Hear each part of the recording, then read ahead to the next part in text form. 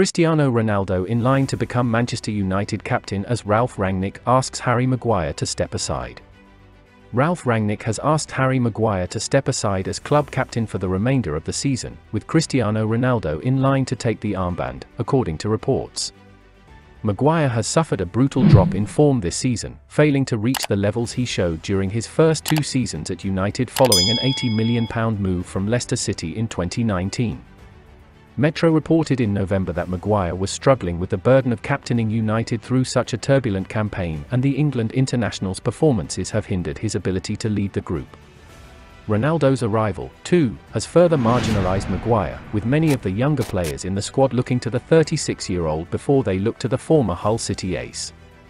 The Mirror report that Rangnick has sat down with both Maguire and Ronaldo to discuss the situation, and the possibility of the defender relinquishing the armband was spoken about. Maguire is understandably keen to keep his role as skipper but Ronaldo's presence looms over him and the squad feel a change of captaincy is inevitable.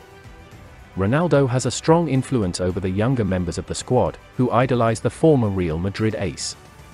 The likes of Marcus Rashford, Anthony Elanga, Jadon Sancho and Diogo Dalot are all part of a crew that look up to Ronaldo.